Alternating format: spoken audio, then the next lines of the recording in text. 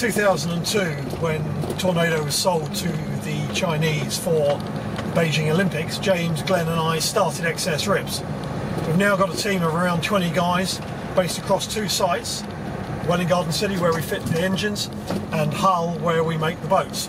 The guys have all been with us a long time, and they're all multi skilled. They understand every process of how the boats are made, which we believe adds to the quality, longevity, and therefore the residual value of our boats.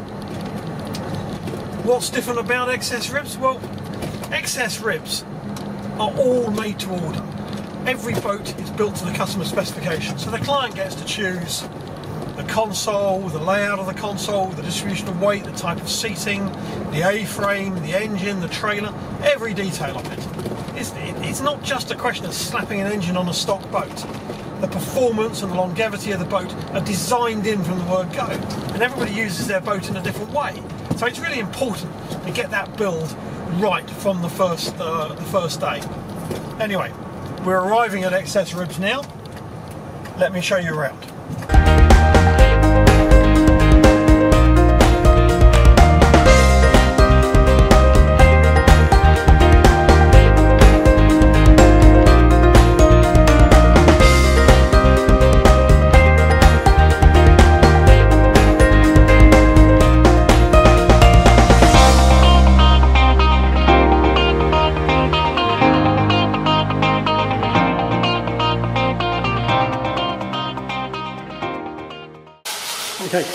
Two worked together? So 20 years now. Plus 20 years, 20 years plus. Yeah. How many boats you made in that time? Uh, A fair few. a few hundred. Do you like making boats? well, I've done it for this one. But Uh, still, yeah, 20 years, uh, 20 odd years, uh, yeah. Making boats falls into three parts the fiberglass, the tubes, and then putting it all together. We do everything in house from scratch. We mix a gel, we gel the mould twice to give better thickness on the gel coat, we laminate the hulls, we use various different types of matting, chopped strand, and woven rovings, all hand laid into the boat. The wood is prepared, the wood is put into the boat, it's fiberglassed in place, it's drilled through, it's ground down, the decks are made, the underdeck trunk is put in place, it's all laminated, the deck's laminated both sides, and then the deck's put on. The console's fitted, the tank's fitted, the whole thing's trimmed down, and then it goes through the tubing.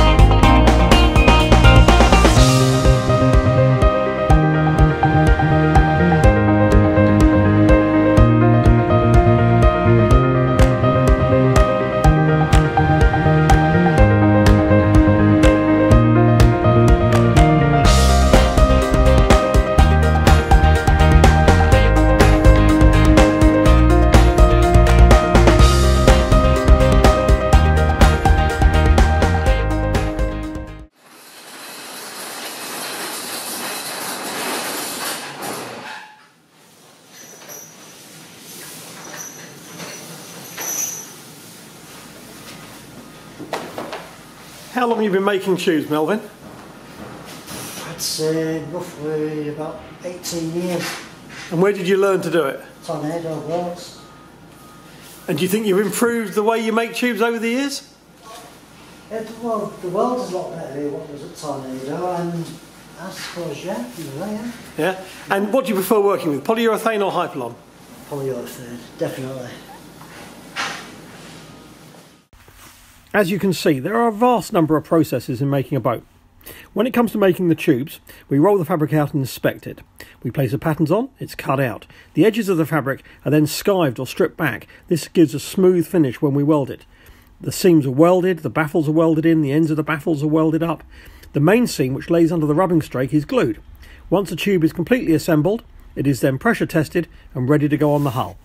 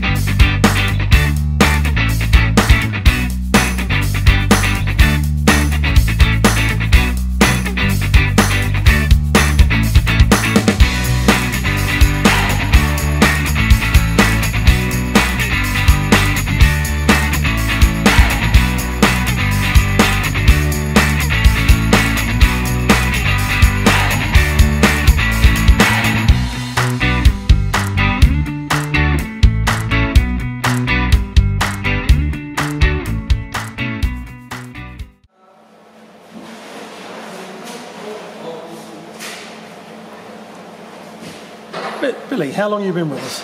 Uh, I've been at XS Ribs now for 12 years. 12 years. You do go boating? I do, I do. Got my own boat, uh, XS Rib, just a small one.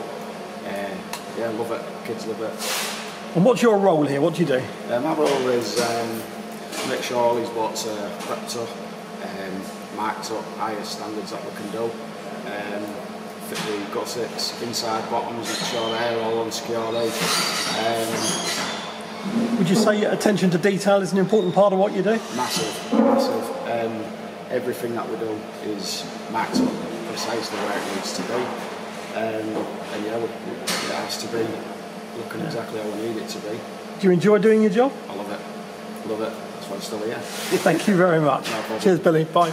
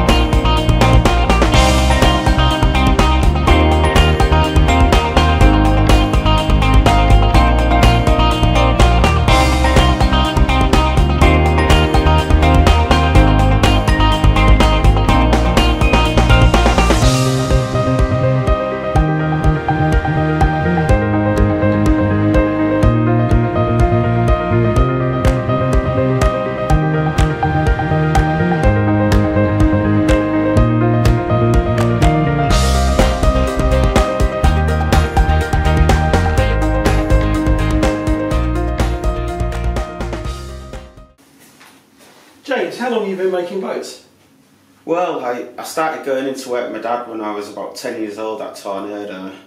So, probably about 30 years. And then after that, I was going to college and university, but I'd carry on working for my dad in between. And then after uni, I just carried on building boats. Well, when Glenn, myself, and you started nearly 20 years ago now, we just built new boats. But since then, we've added other products to the range. So we build a range of fiberglass dinghies. We build um, numerous fish ponds, and we've also added fenders, inflatable fenders to our range. So there's quite a few things that we do now. Since moving to our much larger factory three years ago, we've been able to expand our retubing service. So we started a new company called Rib Tubes Limited, um, basically to look after the retubing and repair side of the business. Um, we can have up to around 20 boats at the factory waiting to be retubed at one time. Um, we offer full retubes, repairs, fiberglass repairs. We also offer electronics, engines, anything that you want really. I would like to say a big thanks to all the staff that humoured us in the making of this video. We hope it gives you an insight into what we do and how we do it, and we look forward to hearing from you.